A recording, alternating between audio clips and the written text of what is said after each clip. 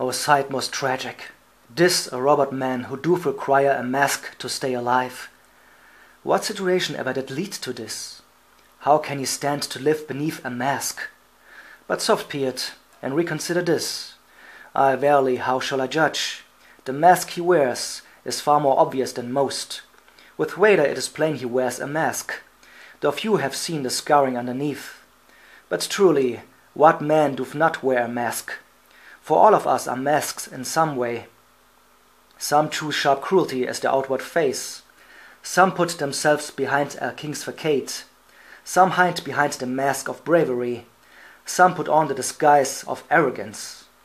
But underneath our masks, are we not one?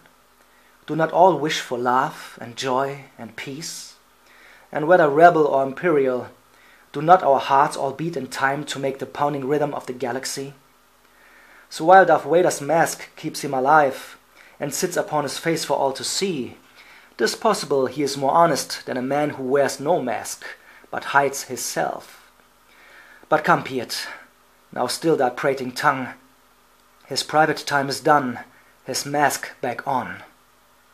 Yes, Admiral. Our ships have found the swift Millennium Falcon, Lord.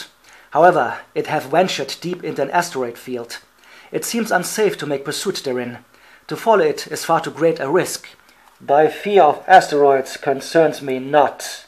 I want this ship, not thy most weak dismay. I understand, my lord, and shall obey.